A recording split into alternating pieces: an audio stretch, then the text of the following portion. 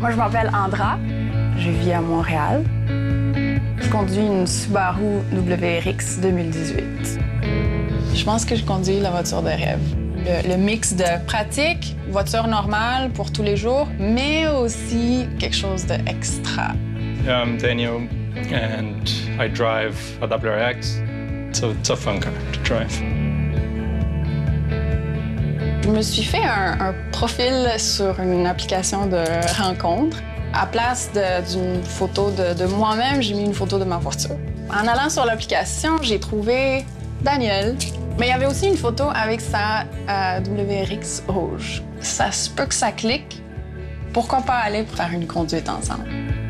On aime autant les voitures, mais on aime plutôt conduire. Et je pense que c'est ce qu'on a découvert avec Subaru. Ça te permet de conduire puis de, de trouver du plaisir dans la conduite. Donc, on s'est rencontrés avec les deux voitures. We the point. On a choisi un point sur la carte, puis on a dit OK, on va là. And then we drove on this scenic road.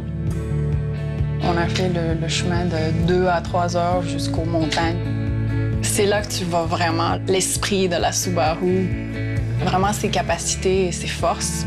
C'est dans la, dans la traction intégrale, le, sunroof, les sièges électriques, lumière un peu plus sport. La WRX, euh, elle est là quand on a besoin. Honnêtement, tout ce que je veux, je peux pas imaginer plus j'avais jamais entendu parler, je pense, d'un couple qui aurait fait une conduite dans des voitures séparées la première fois qu'ils se rencontrent.